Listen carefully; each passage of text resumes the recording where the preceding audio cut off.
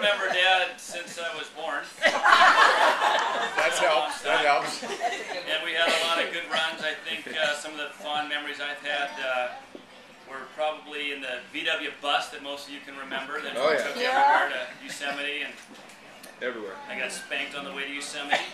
And on the way I got back. a belt on the way to Yosemite. And on the way back. I got spanked in Yosemite and I got spanked on the way home. But as soon as I got home, like, that was the best trip Best I trip can ever. remember. As soon as I figured out, you know, how to get on the straight and narrow, he was a lot nicer. And being the fourth, Debbie was married early, MJ was studying or reading, and, and then reading and studying. And Greg kind of paved the way, so I just kind of scooted on through.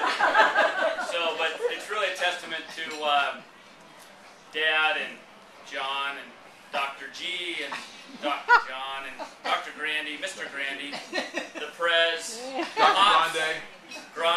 and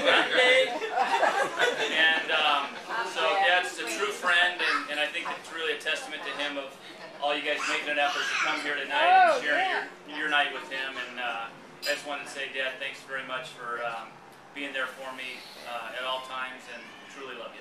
Happy birthday.